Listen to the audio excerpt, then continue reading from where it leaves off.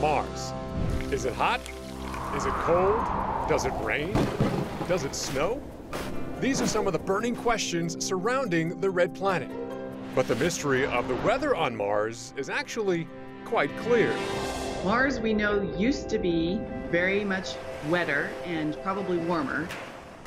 It used to have standing bodies of liquid water, flowing rivers. Uh, there's even evidence that there used to be rainfall on Mars. Today's climate is much drier. It's drier and much colder. Studying the weather history of Mars has revealed some similarities to Earth. So, in some ways, Mars's weather actually does resemble the Earth in that we have things like tornadoes, big storm fronts, high winds, in the same way that the poles of the Earth are cold and the equator is warm.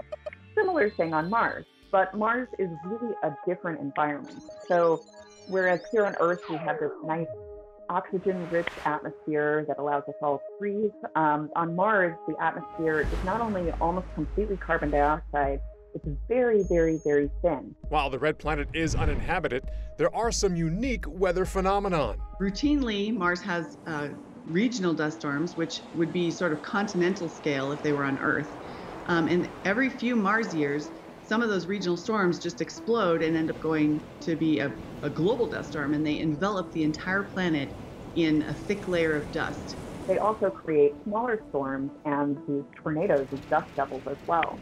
And one of the coolest things is that you can actually look up pictures of these dust devils that have been taken by Mars orbiting missions and you can see them uh, actually like tracing their path along Mars, um, casting a shadow in some in some cases. As future NASA missions continue to study the red planet, the Mars weather will be less foreign. The Mars Environmental Dynamics Analyzer, or MEDA, is a surface weather station that will fly on the Perseverance rover, and it will measure the pressure, temperature, uh, relative humidity, and wind speed and direction as well as be able to monitor the dust amount and, in fact, be able to even tell us something about the dust particle sizes on Mars.